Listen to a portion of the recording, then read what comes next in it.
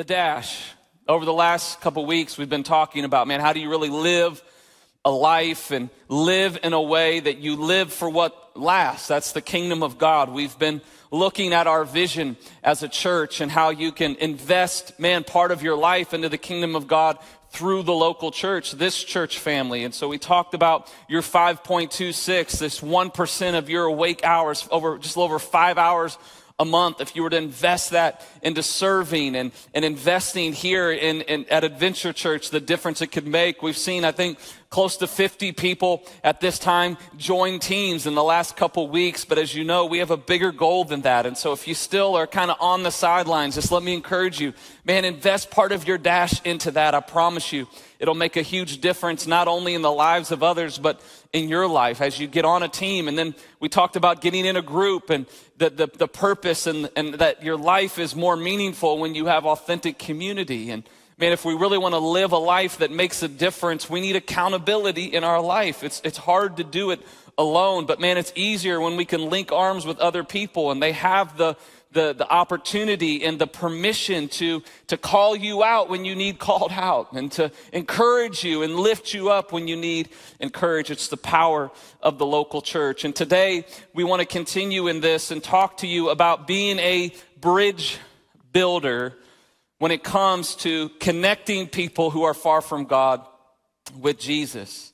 You see, our world is full of people who are seeking fulfillment. They're searching for purpose, but many of them, most of them, are searching and seeking in all the wrong places. And as Christ followers, we have the opportunity and the responsibility, the command from our Lord and Savior to be those who build bridges for people, to help them discover new life in Christ, to help them discover the life that God has created them to live. And our community here in Delaware County, sometimes it can seem like there's not a lot of need. And people often present, you know, on their social media and in their interactions with you that their life is perfect and everything's all together just going well. But, but what's happening behind the scenes is we know in our community, many are battling an addiction. Many are, many are fighting depression and mental health issues and anxiety and Suicide is at record highs. There's the divorce rate is continuing to, to climb and marriages and families are being splintered and, and impacted in negative ways and people are searching for answers. They're searching for hope. They're searching for help. And man, how do I navigate this? How do I get through this? And our world offers them some temporary escapes from their problems from the issues they face, but that's all they are. They're escapes. But come on, the church of Jesus Christ has an eternal solution to what they're going through. We have a hope that can only be found in Jesus. People are literally existing in a living hell, and you have the chance to lead them to an eternal life in heaven. The responsibility that God has given us. And here at this church, and as we have grown from a church plant 10 years ago and established ourselves about eight months ago in this building. Hard to believe it's been eight months that we've been in this space. And the big part of this move and the investment of the resources and time and energy was to create and to, to remove the challenges that limited our capacity to reach the lost people in our community. That is why this building exists. Sure, it's afforded us other things and opportunities and ways to minister and to grow as a family. But, but the reason, let me just remind you again, we built this building that we enlarged our capacity so that we could reach lost people who are far from God. People who are helpless and hurting and need hope. And here we are with the answer. And so we've done our part to eliminate those, those challenges, to enlarge our capacity. And now all we need is you. Look at your neighbor and say, We need you. We need you. There's a picture here I want to throw up on the screen. Uh, anybody know what this is? This is Sanibel Island, the causeway that connected the mainland of Florida to Sanibel Island uh, after Hurricane Ian went through. And you can see in multiple places where it just flooded the, the bridge and the roadway there and, and literally made it impossible for people who were on the island to get back to where the, the mainland or vice versa by that road, by that stretch of highway, by those bridges. And they were literally going and getting people by boat to get them off of the island. And as I was thinking about this message this week, this bridge builder thing just kept popping up. This idea that you and I have the opportunity to bridge the gap for people. That many people in our community Man, they, they, know that they're searching for something. They know that there's something out there that they're seeking, that they're searching for. They just don't know how to get there. That the bridge has been broken in some way in their life, and maybe that's been because of fear or of or, or judgment or rejection. But for some reason, they know the church is there, but but there's just a gap between where they are and, and where the church is, and it's broken. And you and I, according to scripture, have this opportunity to be bridge builders for lost people. That our lives and our relationships with them can build a bridge from where they are, fill the gap, and lead them to where Jesus is. We believe that God has called our church to be a place where people can find Jesus. Because when they find Jesus, they're going to find what they're searching for. Everyone here has a chance to be a bridge between someone who's lost in your life, someone who's hurting and, and, and seeking something that you have an opportunity to be the one who bridges the gap for them. Again, the gap could be filled with fear of the unknown, fear of judgment, fear of rejection, so many other things. And how cool would it be for you and for me to be the one that, that leads them to a place of meeting Jesus? See, it's easy to think that that it's my responsibility that those who are you know you know pastors or leaders in the church who work in the church hey that's kind of your thing to do that. But according to paul we all have this opportunity. 2 corinthians 5 18 through 20 says this and all of this a gift from god. He's talking about salvation who brought us back to himself through christ. And god has given us this task of reconciling people to him for God was in Christ reconciling the world to himself. You see, what he's saying here is that God built the bridge for you. Jesus, the cross of Jesus Christ, bridged the gap between you and God. That now you can have right relationship with God because of what Jesus has done for you.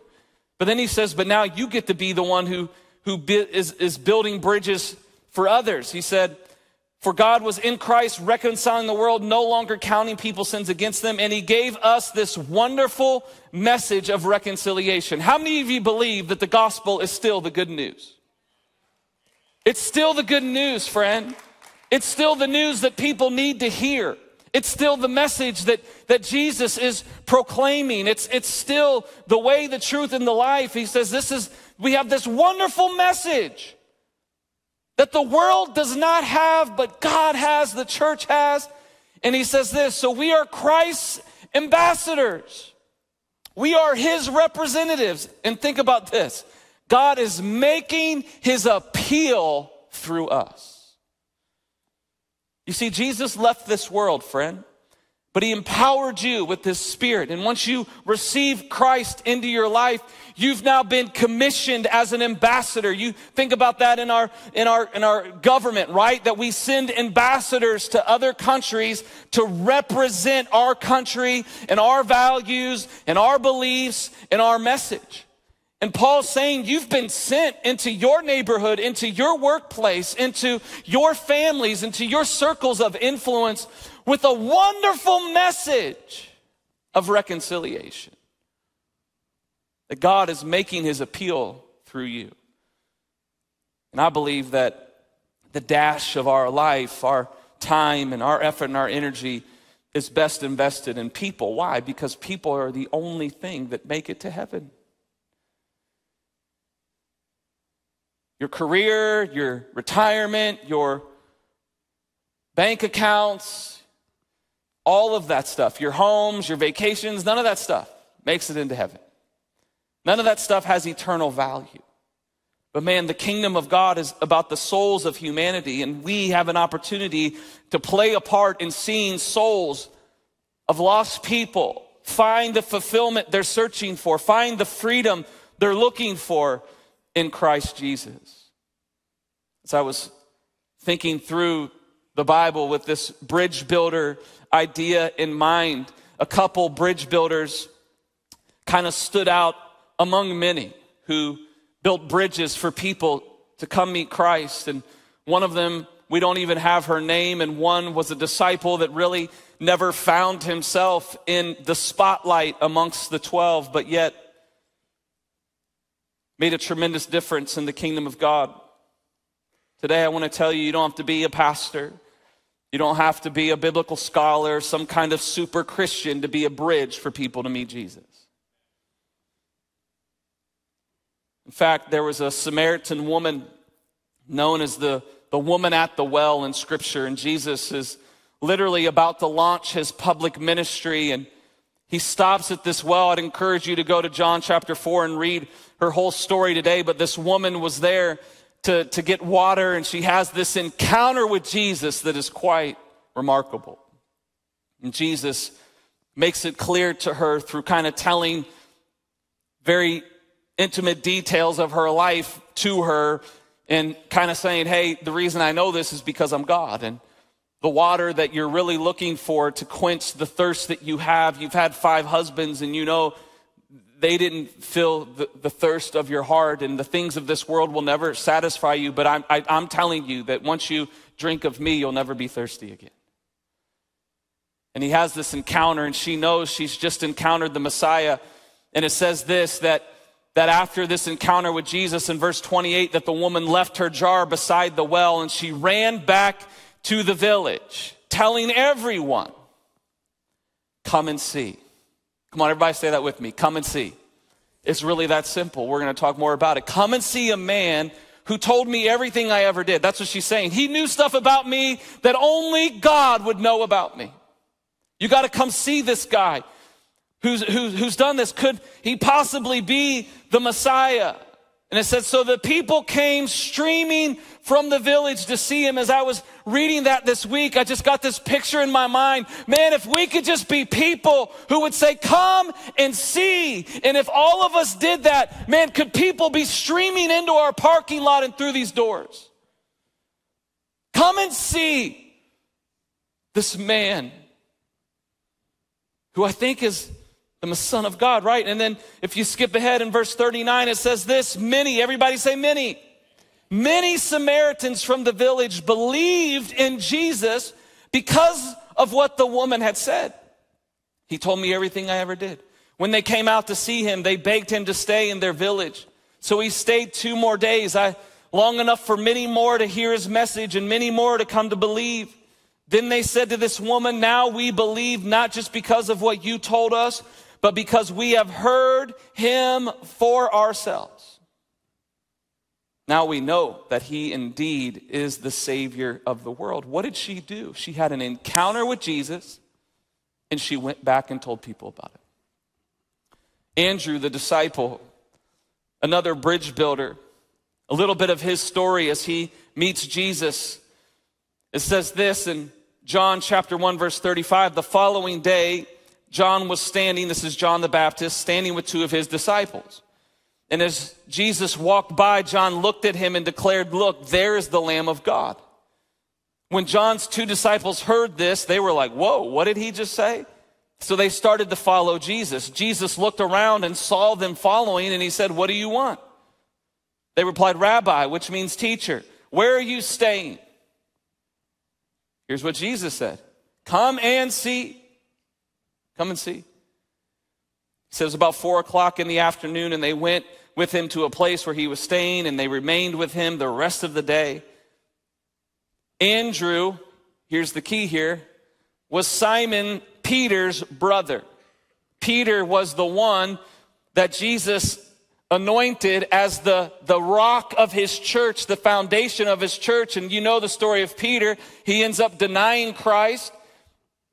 Then Jesus is resurrected from the dead, comes back, reaffirms Peter's calling. Peter is the apostle who stands up on the day of Pentecost and launches the church that you and I are a part of today. That's the Peter here. So Andrew, Simon Peter's brother, was one of these men, heard what John had said and followed Jesus. Look what Andrew did. Andrew went to find his brother We have found the Messiah. I've encountered him for myself. I've had an experience with the Messiah. Then Andrew did what? Brought Simon to meet Jesus. And as soon as Simon gets there, looking intently at him, Jesus said, Your name is Simon, son of John, but not anymore. You're going to be called Cephas, which means the rock. And as we know, would go on to be the rock of the church that you and I are a part of today. So, two things we can learn in this, these stories from what it means to be a bridge builder. And they're very simple, very easy to live out. And I hope today this will challenge you and inspire you and help equip you to better be a bridge builder to the lost in your life. The first thing you got to be willing to do is very simple. You got to be willing to share your story. You just have to share your story. Andrew and the Samaritan woman, right? They, they had this conversion experience. They had this encounter with Jesus and, and it changed them. We don't know all the details, especially about uh, Andrew's encounter because it says he just went and he hung out with Jesus for the rest of the day. But something happened in that encounter that he goes, this is no doubt the Messiah. This is the one that we've been preparing for, praying about. These are Jewish boys. They've heard about the Messiah, and he goes, This is it. And the first thing he thinks of, I got to go tell my best friend. I got to go tell, I got to tell my brother.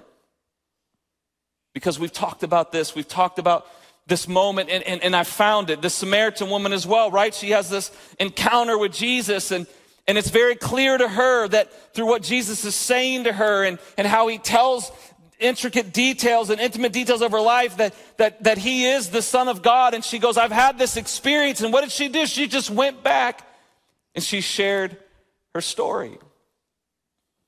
But here's the deal. You can't give away what you don't have. You can't share what you haven't experienced yourself. And today I want to ask you just a very direct question Are you saved? Have you had an encounter like this with Jesus?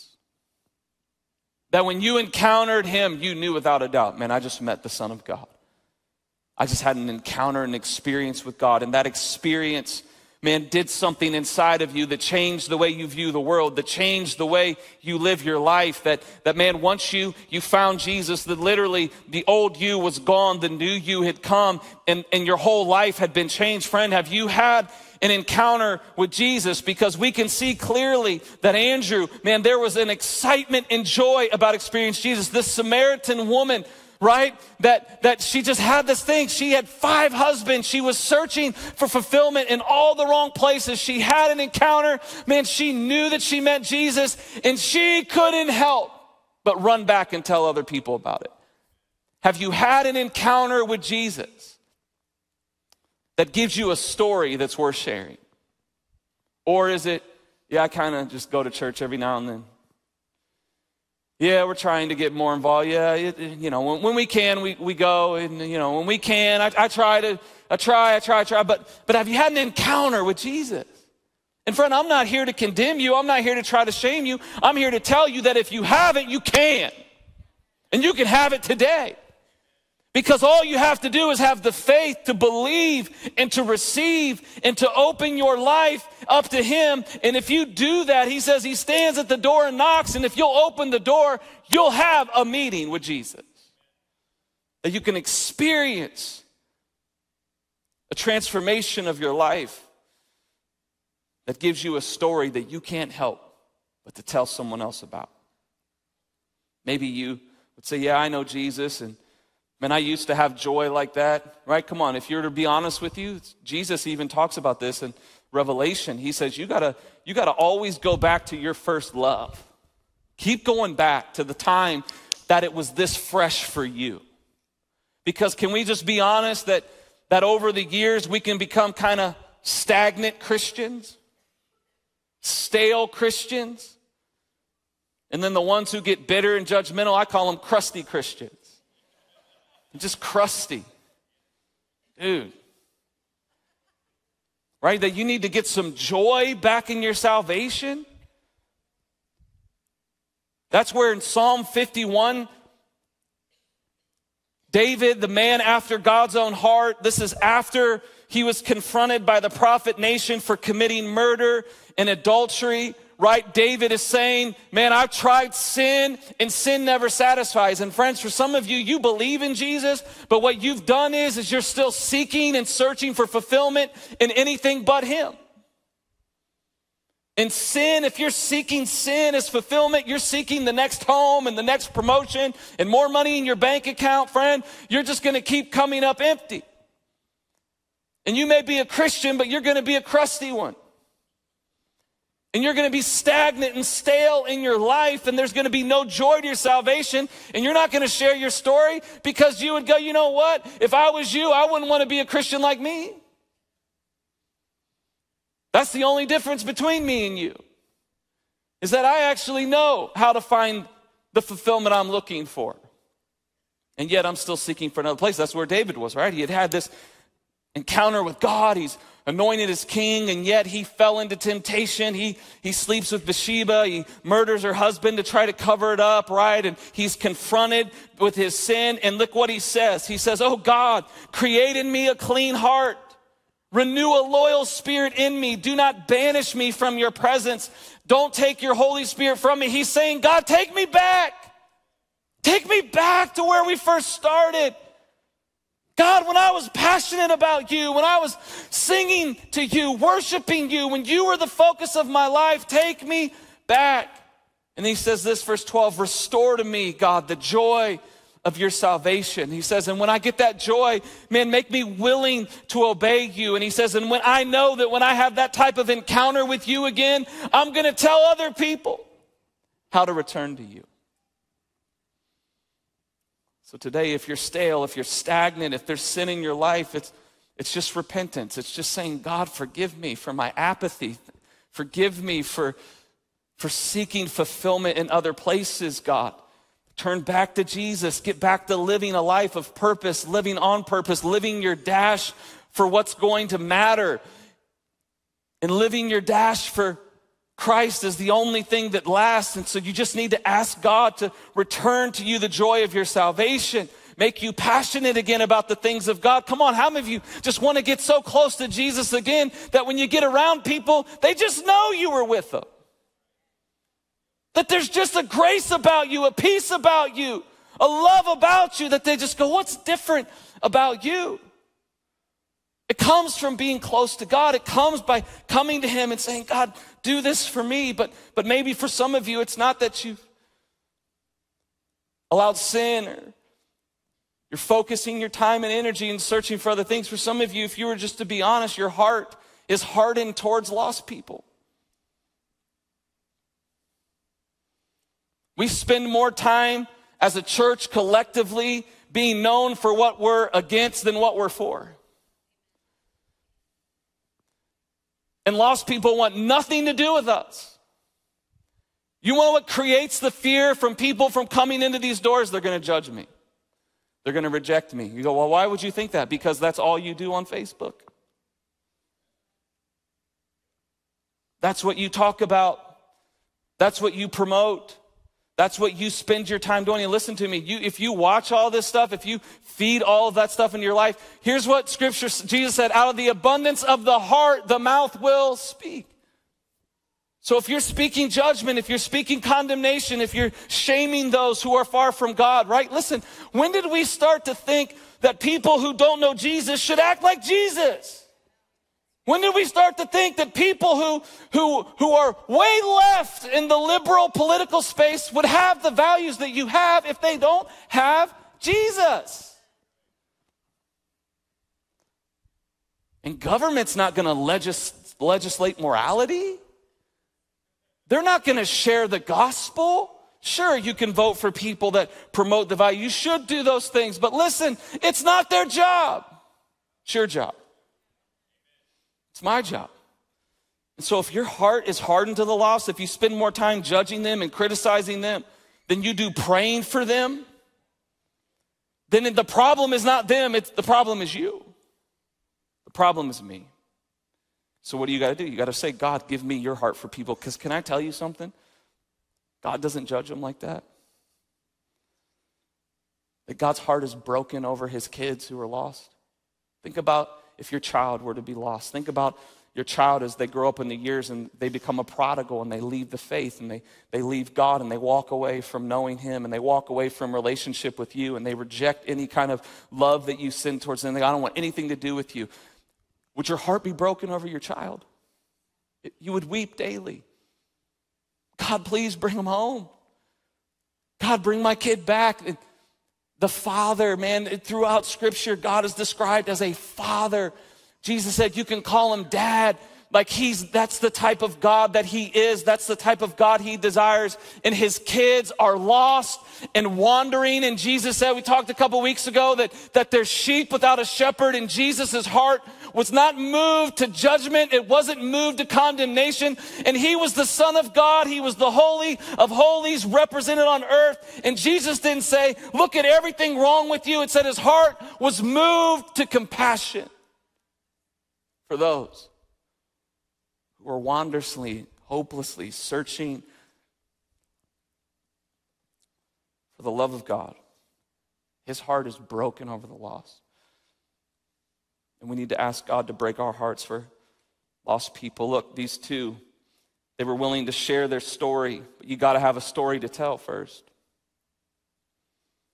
And then they were willing to be a bringer. The Samaritan woman, right? Come and see. Come and see, right? Come and see what he's done. And if we look back at Andrew's story a little bit in Luke chapter 5, we see that it wasn't just his brother that he brought, man, it was it was lots of different situations where where where Andrew didn't necessarily know what to do, but he know he knew who to bring him to. When he was called and Luke in his version of this, he he calls replies to Simon, and Andrew was there with them. Don't be afraid. Listen, now you're going to be fishing for people. And as soon as they landed, right, they left everything and followed Jesus. That once they had an encounter with Christ, their literally for these guys, their whole life changed, their career changed, their where they lived changed. They just began to follow Jesus, and Jesus tells them, You're not going to be fishing for fish anymore, you're going to be fishing for men. You're going to be seeing lost people. So there was something that when, when it was called, Andrew answered this call to discipleship. He knew now what his job was. And, and so he goes all in in this. And, and he has this assignment to, to seek and save lost people because that's what Jesus was. And friend, can I just tell you, once you come to know Jesus, that, that you have the same assignment? To seek and save lost, to share your story, to be a bringer of people to Jesus and our styles and our opportunities and our circles of influence all are different, but we are each responsible to develop a discipline in our life of, of bringing people to Jesus. In fact, you guys remember the miracle where Jesus feeds thousands of people with, with five loaves of, of bread and two fish in John 6, 8 through 9. Look, look who it was. Then Andrew, Simon's Peter's brother. And here's what, what I love about Andrew. Anytime they talked about Andrew, they always said this was just Peter's brother. Look, everywhere we're reading it. And Simon, Andrew, all that. Who, who, who was it? Like they had to remind people who was Andrew. Like he was that insignificant amongst the 12 that they always just had to say. And then and you ever think Andrew was like, look, if it wasn't for me, Peter wouldn't even know Jesus. I brought him to Jesus. Thank you. You know, like, so every time. And here he is again, being a part of one of the greatest miracles that we see in, in Jesus' ministry that we still talk about to this day. And it says this that there was this boy, and, and, and Peter, Andrew goes and gets this young boy, and what does he do? He goes, They're looking for food, right? Jesus is saying, You're going to feed all these people. And they're going, We don't have any food. There's thousands of people. And Andrew goes like this Well, there's, this is all we found. It's one boy. And he brought a lunch. And he's got a few pieces of bread and a couple fish. But here's what Andrew knew to do he knew that he needed to bring this boy to Jesus. And he brings him to Jesus, that Andrew trusted in Jesus' supernatural capabilities. This serves as a powerful lesson to you and I that no matter how small of a gift we think we have, one, that God can multiply it and use it to make a tremendous difference. But two, we think like this I want to be a bridge builder, but these people are so far from God and His values and embracing biblical truth and values in life. There's just no way. Look, that's not up to you to decide. You're just supposed to be like Andrew. Look, I don't, I don't see, they'll, they'll never come to church. They'll never, they're so far from God, they'll never do that. Look, Peter could have, Andrew could have walked up to this boy and go, this isn't enough. This will never accomplish its purpose. No, he didn't do that. He said, well, all I know is that, that Jesus can do a lot with a little. And you may plant a small seed, an invitation, an invite to something, a, a, a moment where you just say, Hey, I, I, just want you to know I'm thinking about you. I want to encourage you. Um, God put you on my heart today. I, I could tell you stories right now, but because people watch these things, I can't tell you all of my stories, but it's just little things. It's just little things, little seeds, little plants in them. And, and man, God begins to do something with them. Andrew understood that, that, that look, I don't know what this boy can do, but I know if I can bring him to Jesus, that Jesus can do a lot with it. He was a bringer. John chapter 12, it said some Greeks had come into Jerusalem for the Passover celebration.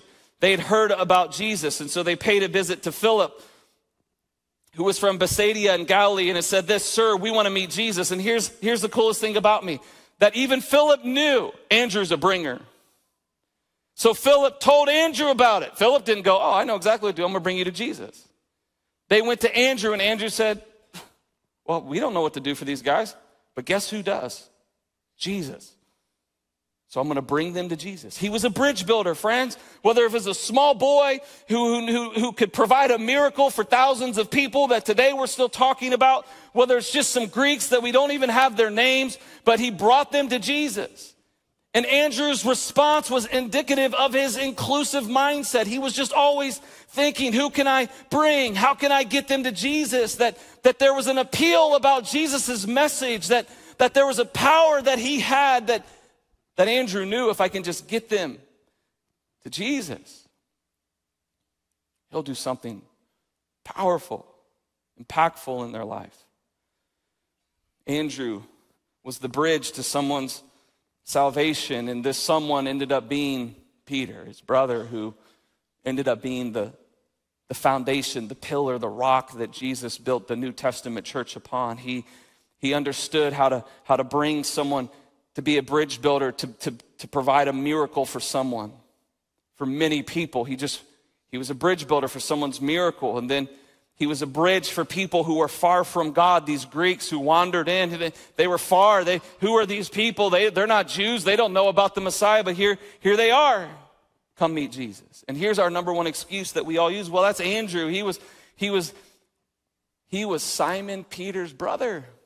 That's who he was. And you go, well, God can't use me. I don't know the Bible well enough. I don't know how to lead someone through scripture. I don't know how to, how to teach them about this. I don't know how to lay out the, that Jesus is the Messiah and prove to them that he's the Son of God the way that I don't know how to do this. Neither did the Samaritan woman. She just met him. She wasn't a biblical scholar. Neither did Andrew. He was just a fisherman. What did they do? They had an encounter with Jesus. They experienced his power for themselves. They shared their story with others. And then this is what they did they said, Come and see for yourself who Jesus is. And Jesus made this promise to you and me in John 14, 12. I tell you the truth. Anyone who believes in me, what's the, what's the prerequisite? Belief. Trust in Jesus, following Jesus can do the same works that I have done, even greater works, because I'm going to be the Father, and He says, I'm going to send the Holy Spirit. That God can and will use you to be a bridge to lost people in your life. You've got to believe it. You have a story, and I pray that it's a story we're sharing, that it's a story we're telling, that you yourself have had an encounter with Jesus that's changed your life, and you can't help but tell other people about it. That you too can be a, be a bringer of people. Because that's what the church is here for. We're here to help. We've created this place. We've, we've built a culture here with great intentionality to be a place that anybody can come. That on any given Sunday, you would feel comfortable inviting a friend and someone who's far from God, someone who's struggling, that you, you feel comfortable bringing them here knowing that no one's going to judge them, no one's going to reject them. You may go, I've never would have thought that in my life. Friends, I've worked at churches where literally the crusty Christians would tell people that they were sitting in their seat. Hey, excuse me, glad you're here today. You just happened to sit in my seat. Thank God that's not this place. That this place will always be a place that I promise you that everything we do will be done with thinking of your friend, thinking of your family member, and knowing that you've been building a bridge for a long time and they finally said yes to come and see. And you're going, man, I hope today's the day. Friend, that's what I think about every time I prepare a message, every time we go through a service. That's what we're always thinking about. To be a place that that can happen. And as the band comes and we close out, we want to be a place that you feel comfortable saying, hey, come and see Jesus here. Now, look, you can say come and see anywhere. Hopefully, you can say come and see him in my living room, come and see him in my life, come and see for yourself, see Jesus in me. But, friends, this is a place that you can say, come and see here. There's a seat for you. And that's why we invite. That's why invite has always been a value here at our church. We believe that God has called you to invite others to be a part of his kingdom, to invite them to meet Jesus. And it was really when we started the church and before there was a, a video of Penn Jillette. Does anybody know who Penn Jillette is? He's a, a magician. They had a show in Vegas, the Penn and Teller show, and he was a magician. And he would do these shows. He was an actor, and he's a well known atheist. And he would do these shows, and he would oftentimes call people from the audience to interact with him. And just one day, he called up a Christian to interact with him. And they do this whole bit and skit with them. And afterwards, they always let them come back and meet him and take a picture. And, and he had a Gideon's Bible that he carried with him. And he wrote this message in it. And he didn't read exactly what he said, but whatever it was, whatever he said, it moved Penn Jillette in a, in a, in a very profound way. And he's, he's just recapping the night. He's having this video that he must have done many times after shows. And he's saying, but tonight something was different. There was this guy. And, and I don't believe what he believes. I don't I think he's crazy for what he believes, but he was a genuine man.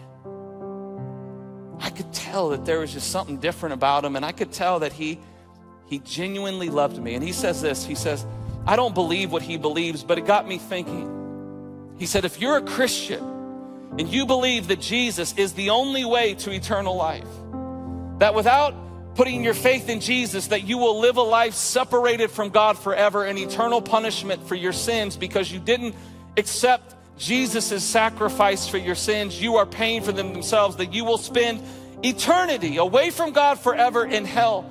He goes, if you believe that and you don't tell someone that, he goes, how much do you have to hate that person? If you really believe that and you don't tell someone, about that? How much do you really have to hate someone to not tell them? You see, there's too much at stake because hell is a reality. Hell is where people go. And God doesn't want people to go there, so much so that He sent Jesus to die so that they wouldn't have to. But if they die without knowing Jesus and putting their faith in Jesus and receiving the sacrifice for, for their sins, that they will then have to pay for them themselves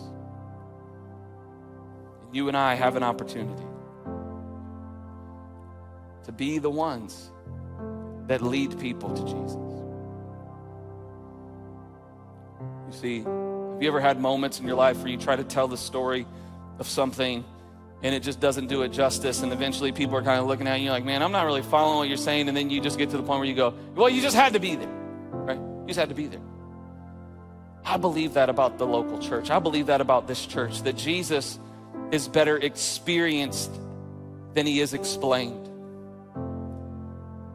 And what we're trying to create here is opportunities for people, not just encounter a couple good songs and a message and no, no, no, that every week that there's an opportunity for them to encounter and then experience Jesus. What are we challenging you to do? Be intentional with the relationships in your life. Look for opportunities to share Jesus with other people.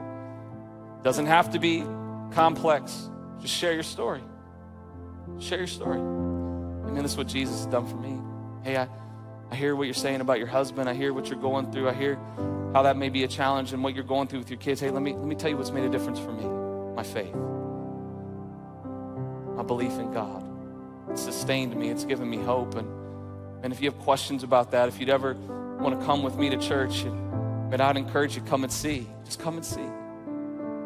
And you know what? You can sit with me. Come on, is it here? This is this is simple. Listen for opportunities. People will say things. Um, things aren't going well. I, I wasn't prepared for. We're not in a church. We haven't found a church. We haven't found it, right? There's these things. Just listen to these things. Not, I'm not in church right now, or things aren't going well in my life. We weren't prepared for this when it happened. And you can go, oh, oh, really? Really? Well, maybe you should come to church with me this Sunday. Come and see. And you know what? You can sit with me. Come on, stay with me. Come and see.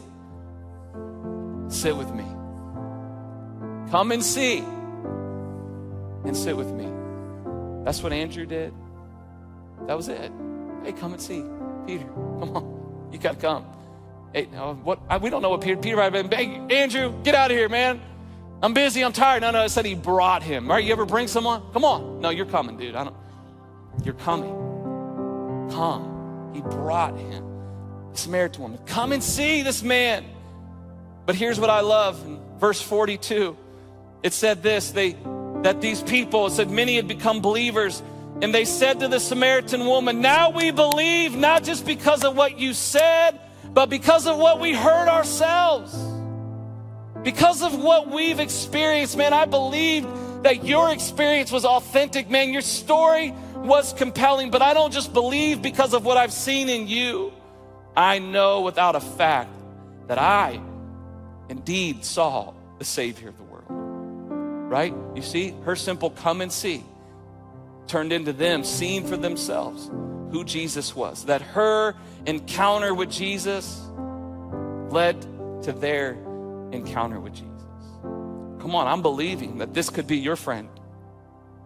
Hey, I went because of what you said. But I don't just believe because of what you said, and I believe because of what He's done in me. That I've encountered Him myself.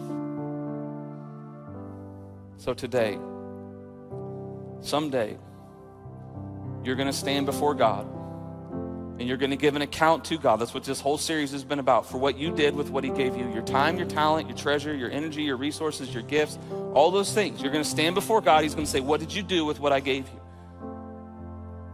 And we all long and pray to hear the words, Well done, good and faithful servant. But how cool would it be that when you get to heaven, it's not just well done and good and faithful servant, that there's a receiving line of people who say, Because of you, I'm here. Because you said, Come and see, because you invited, because you lived out your faith in a genuine and authentic way in front of me. I am here. My wife's here. My kids are here. My grandkids are here. Come on, someday you can get to heaven and hear, Well done, and thank you. Thank you for inviting me to come and see. Because Jesus changed everything. I'm going to invite you just to bow your heads and close your eyes with me. And first, I want to talk to those of you who would say, you know what, I don't really have an experience with Jesus.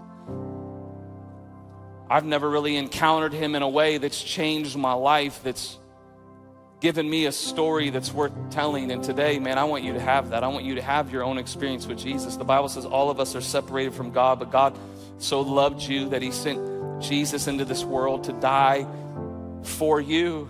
And the cross of Jesus, again, it was a bridge builder for you so that you could know God for yourself. And today, if you'll come before Him with a repentant heart and a humble spirit and just say, God, I'm sorry, I've drifted from you, I'm so far from you, I'm seeking pleasure and fulfillment and all the wrong things. And today, God, I want to just serve you. I want to. I want to have an experience with you where I invite you to change me from the inside out. It starts with you just saying, God, I'm sorry. And God, I want what you have for me. If you'll do that, God will meet you right where you are today. His grace is available, His mercy is available, His forgiveness is available if you're just willing to receive it. So today, if that's where you're at, I'd love to pray with you. And I believe that there's something powerful that happens when we respond physically to what God is speaking to us. So I'm just going to invite you at this time to say, Kyle, that's me. I'm far from God. Just slip up your hand right now. I'm going to pray for you. But you say, that's where I'm at.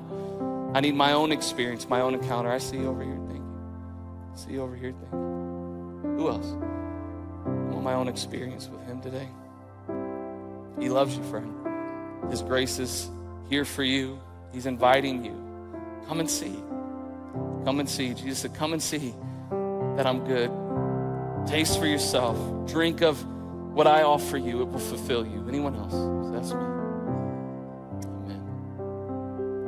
Amen. Church family, would you pray this with those who are praying this today? Say, Dear Jesus, today I invite you in.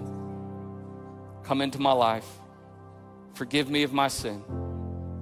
I believe that you're the Son of God, that you died for me so I can live for you. I surrender all that I am to you and your plan. In Jesus' name, amen. Amen. Come on, can we thank God for that today? It's awesome. I'm going to invite the rest of you to stand and I just want to encourage you as we close out. Our prayer team is going to make their way to the back. And maybe there's just someone that God's even put on your heart today that you're going, man, I want to pray for these, this person. And here's my challenge to the church that we got three months left in this year. Three months, 90 days. Who is one person? See, our value here is everyone can reach someone. God's not calling you to reach everyone, but He is calling everyone to reach someone and that there's people in your life who you know need Jesus. And I just, eh, here's it, man, invite everyone, but come on, bring someone. Bring someone to church, to, to a service, to a life group, to, to group connect, to say, hey, come with me. Hey, things aren't going well. We weren't prepared for. We're not in church. Listen, pay attention. Say, just come and see. Will you come and see? the end of this month, we'll have Fall Fest on the 29th in Kid Venture. It'll be an easy invite. Hey, you should bring your kids. They're going to wear their costume, they're gonna have fun and have a fun day, and you come to church and just see for yourself, right? And as we know, Christmas is coming up. Christmas is even more of an outreach than, than Easter. More people are open to coming to church and, and meeting Jesus than any other time before. I've been reading this week evangelistic studies that, that despite what, what may seem like it's happening in our world, that people are more open to the gospel right now than, than any time in recent years. They're just open. So I want you, as we close the song, one to believe, come on, that God can, can do something powerful. That God's been saving souls for thousands of years, and He's not going to stop now, right? He just needs bridge builders. He just needs bridge builders. He just needs people to bridge the gap between the lost and Him. And friend, you get to be a bridge builder. And so I want you to pray. I want you to just think of one person, one family, go, God, I'm going to do everything I can over the next 90 days to reach this person. Who is your one person that you would go, man, this is it? And I want you, even as we sing this song, one, to, to let your faith rise up to go, man, they're so far from God, I just could never. Believe, believe, believe. That's not your job to save them. Your job is to bring them to the one who can. Okay? Just say, God, I want to believe. So, God, birth a new passion in my heart, a new desire in my heart God, for the lost people who are far from you. And God, and for this one in particular, God, I'm going to do all I can to be the come and see for them. Come and meet Jesus in them. So our prayer team's going back there. Maybe you want to just go and pray with them and say, hey, I want to pray for my friend. I want to pray for my, my family member. I want to pray for my parents, my sibling, whoever it may be, and say, I really want to believe for this. Would you believe with me? And let's align our faith today.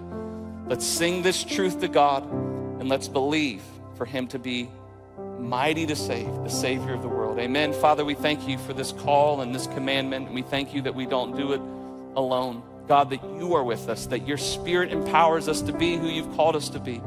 And so I pray today, God, birth in our heart a new passion for people who are far from you. God, give us a desire to be the people who tell your amazing story. We believe it today. In Jesus' name.